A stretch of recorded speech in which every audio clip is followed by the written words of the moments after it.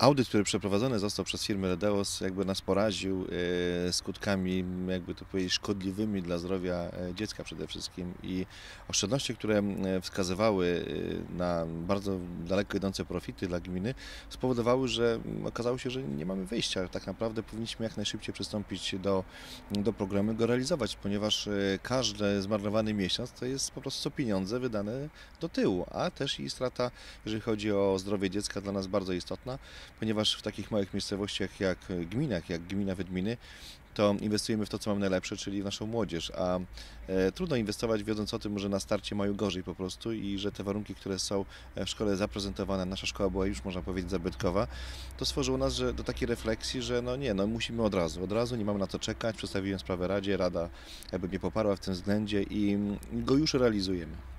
Firma Ledeos y, na zaproszenie y, pana jako wójta gminy zrealizowała audyt, tak? Go przeprowadziła, y, przedstawiła, złożyła na pana ręce. Co dalej się zadziało?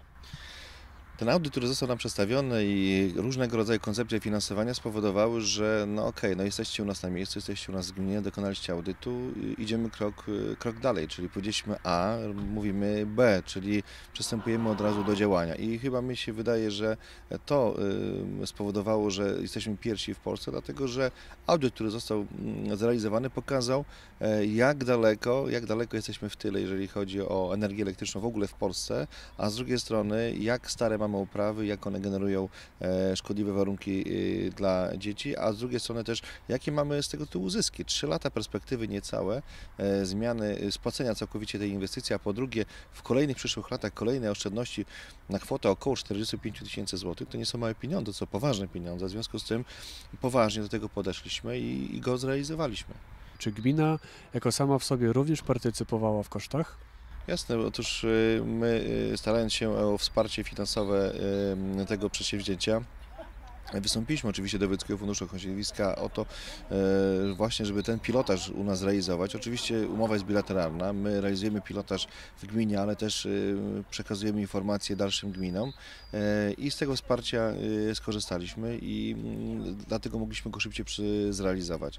Natomiast klucz sprawy to nie jest dofinansowanie, bo to raptem wkład własny, który jest, który jest można powiedzieć nieznaczny, natomiast generalnie dało nam ten motor podstawowy taki, że, że te oszczędności, które są wygenerowane jeszcze i w tym roku, jak i w przyszłych latach, jakby świetnie się to nam e, finansuje i, i te koszty, które ponosimy na spłatę, jakby no, refundują nam całkowicie oszczędności, które są wygenerowane z tych e, urządzeń.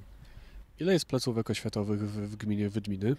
Placówek oświatowych jest pięć, a nawet można powiedzieć z punktem przedszkolnym sześć. Z tego dwa są potężne zespoły szkół, których jest e, ponad, e, powiedzmy sobie, ponad 200 punktów oświetleniowych, to jest bardzo dużo, e, które no generalnie no, dawały bardzo dużo straty energii, a z drugiej strony mało, mało światła. Teraz mamy sytuację odwrotną, mamy bardzo mało energii, a z drugiej strony mamy bardzo dużo światła, co jest dla nas bardzo korzystne. Czyli jest gdzie wymieniać oświetlenie? No jeszcze jest, jeszcze jest. Od razu zaplanowaliśmy sobie harmonogram dalszych działań i już w styczniu przystępujemy w kolejną szkołę, a jeszcze w tym roku chcielibyśmy zrealizować jeszcze wymianę oświetlenia w urzędzie, tak więc jeszcze nawet przed urzędem. Tak więc mamy takie plany i łącznie i, i, zarówno i z Philipsem, który zrobił nam wstępne, że tak powiem, projekt również oświetlenia ulicznego, tak więc idziemy dalej, jeszcze dalej. No właśnie, widać jak się wjeżdża już do samych Wydmin, że oświetlenie LEDowe jest tutaj propagowane i ze względu na oszczędności, y, jakość tego oświetlenia, widzimy również, że oświetlenie jest nad brzegiem y, jeziora, tak? Tak, mamy oświetlenie y, nad brzegiem jeziora, jest to oświetlenie parkowe, jest to oświetlenie LEDowe właśnie z bateriami fotowoltaicznymi. E, jest to oświetlenie, które było bardzo łatwe do zainstalowania, ponieważ nie wymagało e, większych projektów, a z drugiej strony w eksploatacji jest bardzo tanie, ponieważ no, przede wszystkim nie płacimy za prąd elektryczny, ale z drugiej strony nawet i konserwacja tych urządzeń jest o tyle banalna, prosta, bo to kwestia mycia lampy, kloszy i baterii fotowoltaicznych, a akumulatory się sprawdza raz na 3 lata, w związku z tym e, z też specjalnych technicznych rozwiązań rozwiązań tam nie ma, takich, które by powodowały, że mamy wysokie koszty konserwacji. Wręcz odwrotnie, jest, jest niedrogo. Musimy tylko zwracać uwagę na wandalizm, który się pojawia niestety, no ale generalnie mieszkańcy tak cieszą się z tej inwestycji, że zaczynają dbać i, i monitorować takie sytuacje, kiedy ży, rzeczywiście dzieje się coś złego z nimi. W chwili obecnej w szkole w Wydminach oświetlenie jest już zamontowane. Dzieci korzystają z tego oświetlenia. Jakie, do, jakie głosy do Pana dochodzą ze szkół, z rodziców, z nauczycieli, od nauczycieli?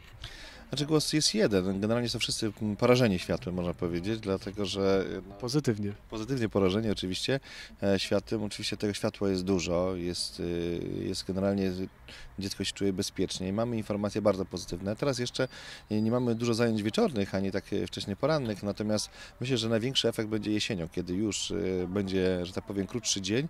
Wtedy dopiero ten efekt będzie taki naprawdę imponujący. Jak układała się Panu współpraca jako wójtowi y, gminy z firmą Ledeo, z prowadzeniem audytu, z wymianą tego oświetlenia w szkole? Przede wszystkim e, można powiedzieć, że firma jest dobrze przygotowana do tego, co e, wykonuje, czyli przede wszystkim ma bardzo e, dobrze przygotowanych projektantów, bardzo dobrze, dobrą wiedzę merytoryczną, jakie są potrzeby. Oprócz tego mm, dokładnie zna problematykę, jeżeli chodzi o oświatę, tak? jakie zastosować urządzenia i kiedy, na czym można oszczędzić, a gdzie nie można oszczędzić. Tak, tak więc ta, ta profesjonalizm, ten profesjonalizm spowodował, że zaufaliśmy bardzo mocno tej firmie. No i jesteśmy, można powiedzieć, dzisiaj to jesteśmy już wdzięczni, że oni prowadzili tę inwestycję, bo efekt samego wykonania jest piorunujący, ponieważ e, wykonanie inwestycji było w weekendy, po godzinach e, pracy szkoły, w związku z tym dzieci w ogóle nie ucierpiały na zajęciach, że musiały się gdzieś miotać po innych klasach, gdzie były remonty. E, panowie zdyscyplinowani, świetnie ubrani i tak więc można powiedzieć, że wzór europejski.